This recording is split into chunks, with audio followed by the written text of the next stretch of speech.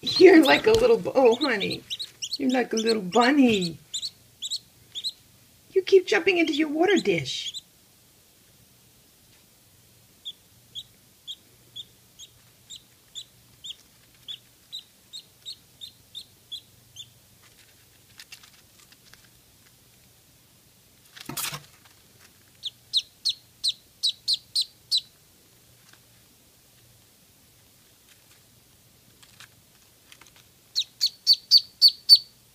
She's trying. And the best she can manage is hopping. She propels herself, but she can't walk.